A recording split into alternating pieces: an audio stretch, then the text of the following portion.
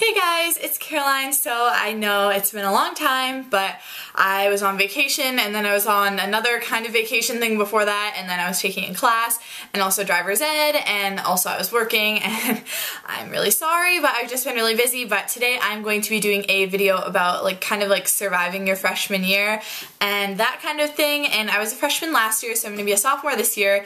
So I think I can give you some tips on getting through your freshman year of high school if you're you're going to be a freshman this year or if you're going to be a freshman in two years, I don't know, maybe like like this video or favorite it and come back to it or something like that. But it's just kind of useful and I mean, I watch videos about people like college tips and I'm not going to be in college so maybe you'll find this interesting even if you're not going to be a freshman this year.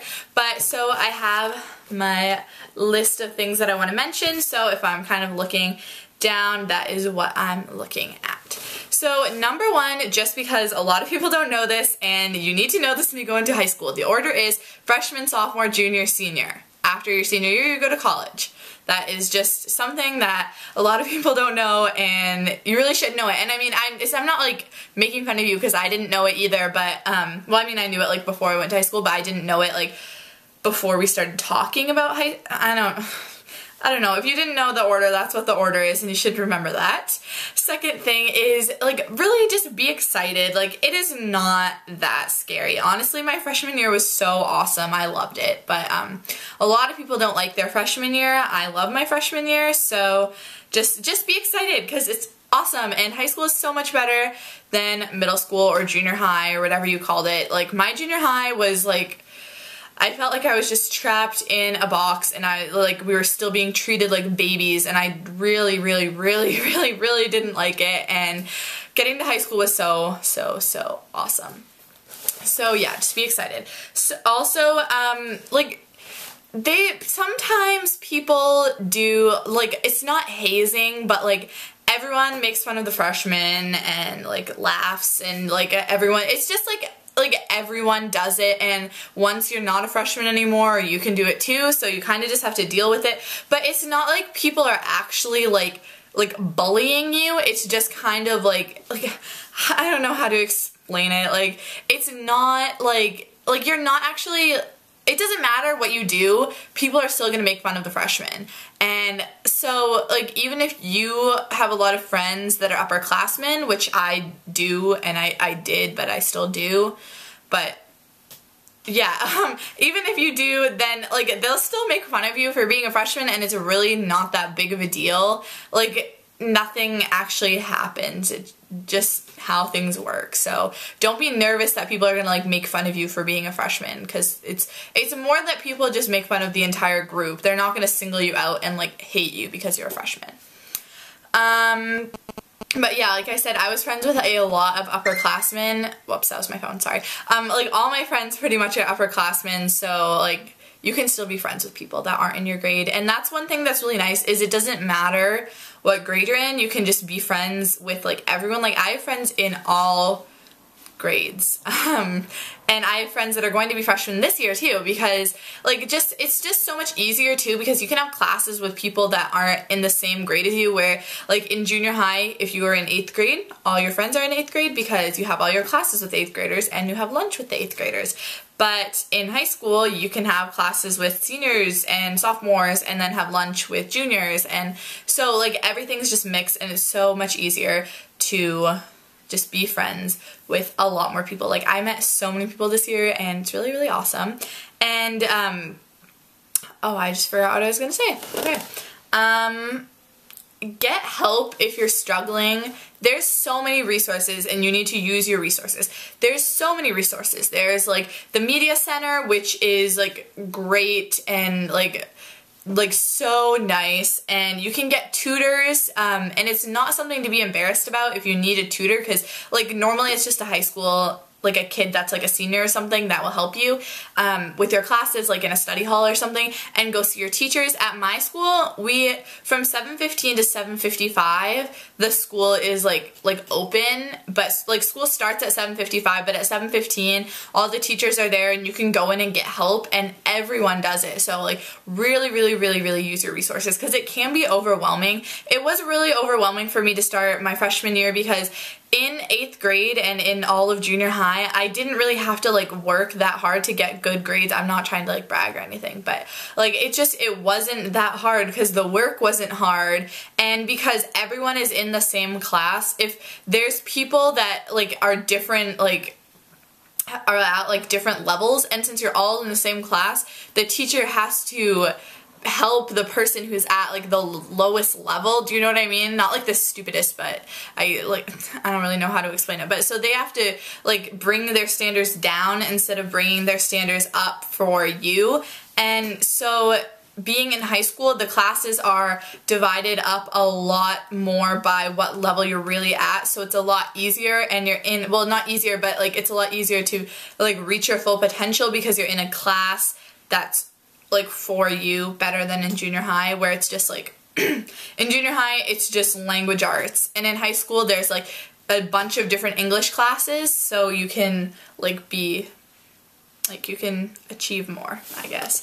Um, but yeah, so next is learn how to study because that it just like just learn how to study. I'm really really bad at studying and it's really hard and it makes the tests really hard because I mean they're obviously hard anyway but um, in junior high like you can ask a teacher for help. At least for me like I could you can like raise your hand on a test and ask a teacher for help and they'll help you find the answer on a test. And in high school no they will not do that. And in junior high they might give you extra time to finish a test. In high school most teachers will not give you extra time if you don't finish your test some will, but most of the time they won't. Like once the class is over or once the period of time that you had to take the test is over, you have to turn it in no matter if you're how much you have done. Yeah. Um, uh, stay focused and push yourself to reach your full potential because that is what high school is for, is learning and reaching your potential. So you really want to make sure you do that and stay focused on your schoolwork. Obviously, you can still have fun. I mean, you're a teenager, obviously you're going to have fun, but you really do need to stay focused. And it's hard at the end of the year when you're just ready for summer, especially studying for finals because summer is like there and all you have to do is take these tests, but they're hard and you have to study so hard for these tests. But just make sure you stay focused and don't like procrastinate and get sidetracked because it can be really hard if you do that. Um, be involved, join clubs and stuff like that that you're interested in. I joined a lot of kind of like acting, singing, performing kind of clubs because and um, stuff like that, like not necessarily clubs, because that is what I'm really interested in and that's what I like to do.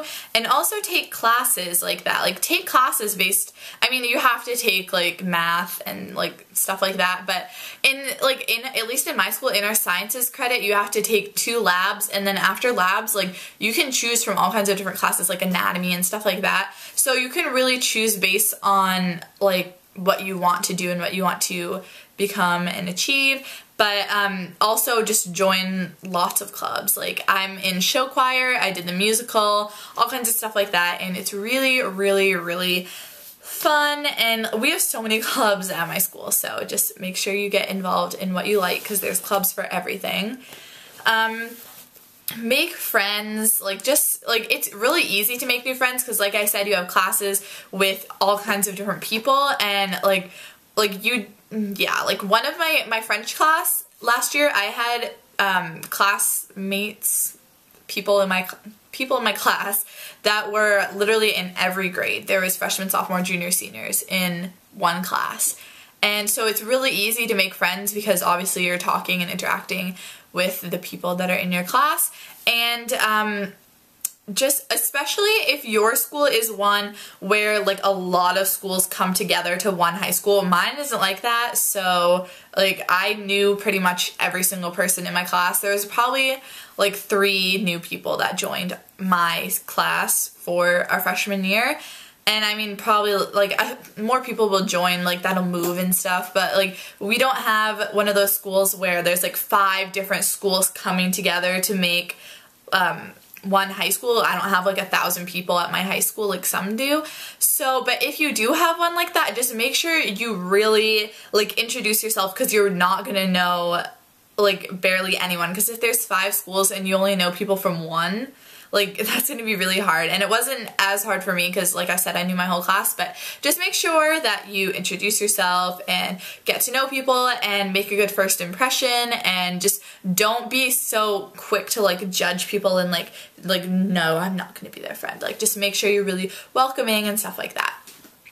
Um make sure you eat breakfast because otherwise it's going to be a really long hard day. Um I get so hungry in the morning, so I always have breakfast. But if you don't have breakfast, at least if you don't have breakfast, bring a breakfast. If you don't have breakfast, make sure you at least bring a snack to eat like between blocks or periods, whatever you have.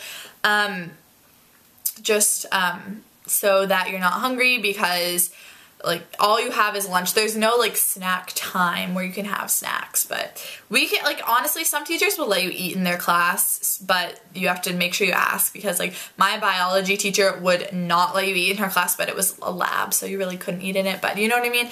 But then like my English teacher would let you eat in her class if you wanted to. So you need to find out about that, but also just eat breakfast and if you don't eat breakfast, bring a snack to eat between classes. Um, make sure you stay organized and use a planner because they're so helpful. I, like, I would not remember any of my homework if I didn't use a planner. And you can buy a planner. Um, a lot of the time schools will give you a planner. Um, and the planner that our school gives us is actually really nice. So I actually ended up using that in the end of the year, but I bought one in the beginning of the year. So do whatever you want. If you feel like you need like kind of a certain kind of planner, you should buy one. But otherwise you can just get the one from the school because it's probably going to be pretty good. But um, make sure you write down your homework and you can also write down other stuff in there too which is nice you can write down all your like extracurriculars and like if you have a soccer game a certain day if you have the play play rehearsal all kinds of stuff like that. You can write down like I don't know like holidays or in-service days where you don't have school and it's it's so so so helpful. And but just when you write down your homework just make sure that you write down like specific instructions. You can take up a lot of space in your planner because all you're writing in is homework. It's not like it's not like you're going to need space for something else. I mean you're going to need space for your other homework, but you know what I mean. So um like write down specific instructions so you're not like texting people at like 9 o'clock at night when everyone already did their homework. Well, I mean, not everyone has done their homework at 9 o'clock at night, but you know what I mean. Like texting people late at night and asking them like, what was the homework? Because that's really annoying for the people that you're texting because like they've maybe have already done it or like something or they're busy or anything and then they have to like stop what they're doing and tell you especially if there's like specific page numbers and they have to go back and check and it's really annoying for you because you have to wait for them to respond and it's just so much easier if you write it down in your planner. Uh, be yourself because in high school everyone is like figuring out who they are and like like everyone is doing everyone is doing that and so like wear what you want to wear do what you want to do like don't like don't hold back because you're afraid of what other people are going to think because if they're your real friends then they're really not going to care what you're doing anyway. I mean obviously unless you're doing something bad but you know what i mean. Like if they're your real friends they're not going to care like what clubs you're in or what you're wearing.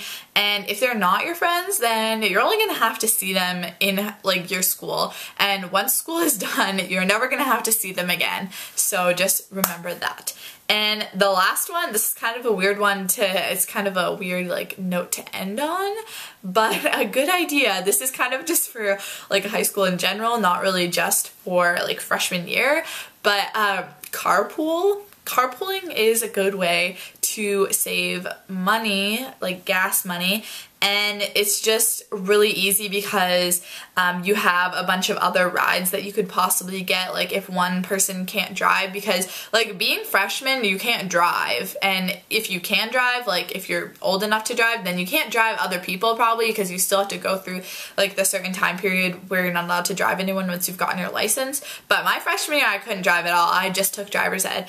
And um, none of my friends could drive. So well none of my like friends that are freshmen that live in my neighborhood could drive. So I carpooled with three other people and it was, I mean, like there was actually, it was actually really annoying. So you need to make sure you have a schedule, but if you have a schedule on who's driving when, then it's so nice because like if your parents are working like on certain days like one of my friends moms works monday wednesday friday and so she can't drive on Monday, Wednesday, and Friday, obviously, but she can drive on Tuesdays and Thursdays. So that's really nice. And then if somebody else's parents can drive on Wednesday and Friday, and somebody else's parents can drive on Monday, then it's just really nice. And you can divide up who drives in the morning and afternoon, or you could just keep it the same. But it's just really nice to carpool because you know that you're always going to have someone to drive you to school if you if you don't have like a bus or if you don't walk or something. But um, backpacks are really heavy, and I know a lot of people do walk, but like